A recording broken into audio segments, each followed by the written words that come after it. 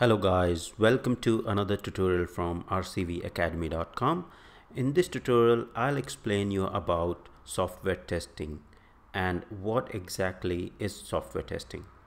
So software testing is a process. It's not a standalone activity. So many uh, times you might have um, misconception that it's a standalone activity and you just need to um, perform various uh, validations or uh, verification uh, in a standalone form but it's it's not the case. It's actually a whole process which fits into the software development lifecycle and goes hand in hand with software development lifecycle so there is a software testing lifecycle which goes hand in hand along with the software development lifecycle now why do we do software testing? It's the the key things uh, to note is that you need to verify or you need to check whether the software that you're delivering to your customers um, meets the user requirement. Whatever requirement has been provided to you uh, the software that is being delivered meets those requirement. The other thing is whether that software is fit for use. Say for example you are developing uh, a particular software uh, for end users to upload their photos um, over the internet or uh, put it on the cloud. Then the first and basic foremost thing in that particular software or application is that the person should be able to upload um, the photos from his different devices like mobile phone internet uh, mobile phone uh, laptop when he's connected to internet to the, using that app uh, to the cloud. So that's basically one of the feature that explains whether that software is fit for use for that end user. If you are developing a certain software for um, and a user is supposed to use it in a particular way then whether that software meets that uh, criteria or not. So whether it is fit for use for that particular user or not. Now the third thing about the software testing is that it is done to find software defects or failures well in advance.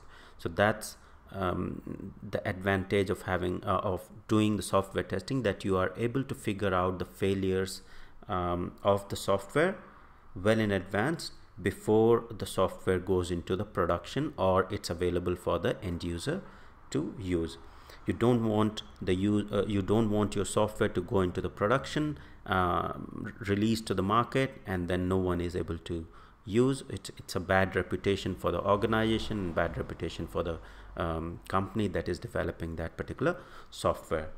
Now software testing um, is as, as i mentioned it's a process. It consists of all the life cycle activities like static testing dynamic testing um, and also uh, con consist of test planning, preparation, evaluation um, of the software products to determine whether it, uh, the software product satisfied the satisfies the customer requirements.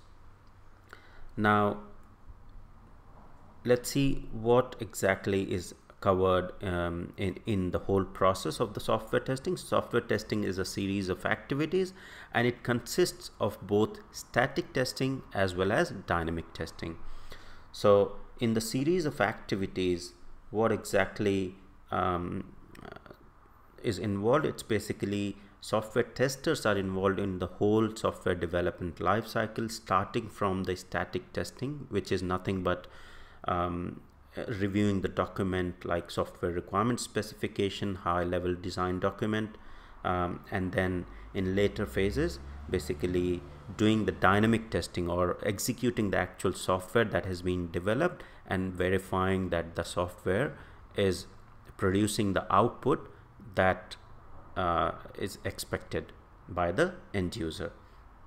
So there are many many static and dynamic testing techniques available uh, like reviews walkthrough are some of the static testing techniques um, and then uh, in the dynamic testing te techniques you have black box testing white box testing etc which I'll cover in later tutorials in detail.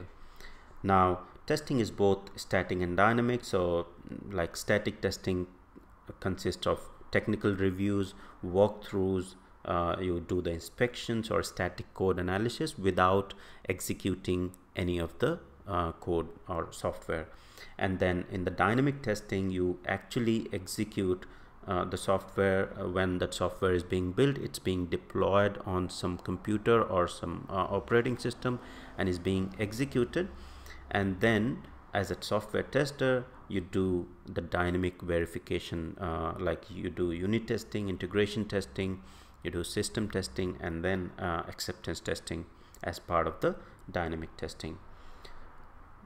Now what are the certain testing activities involved in that whole software testing lifecycle or, or what exactly are the key activities of the software testing? So the first activity of software testing is basically uh, test planning.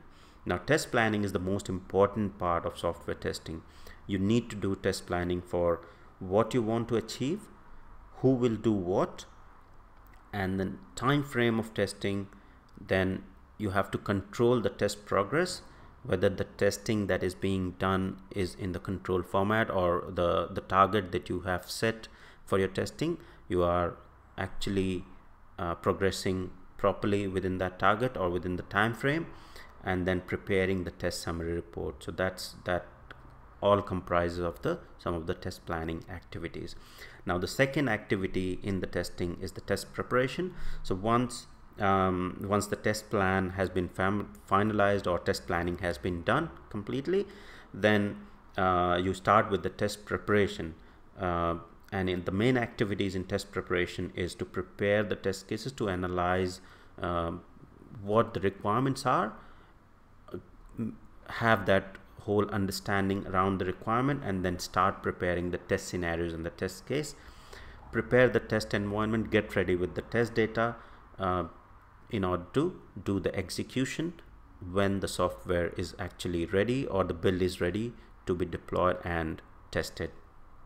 Now, uh, the third key testing activity is test execution and evaluation, which is nothing but you execute the software or you do the dynamic testing once the build is available and deployed you start you deploy uh, you start dynamic testing and then you verify that the behavior of the software whether it meets the exit criteria or whether it meets the expected result or not. Say for example are you able to upload images from your phone using the application uh, that is being provided to you? So for example um, you, you, your company is building an application to upload images to cloud uh, when you are connected to internet. So are you able to do it from phone? Are you able to do from uh, your laptop? Uh, etc different uh, operating system different browsers. So these are some of the scenarios or test cases that you will be actually performing during that test execution and then evaluating whether that it meets the exit criteria. Now the other bit in the evaluation is uh, whether that software is easy to use whether uh, that's the another criteria. You shouldn't be um, it, it shouldn't be really tricky or um, difficult to navigate around that particular software to use it. And then the third evaluation criteria criteria is whether it meets the end user requirement. Whatever the end user uh, is expecting out of that software whether that has been met with it with, with this software right?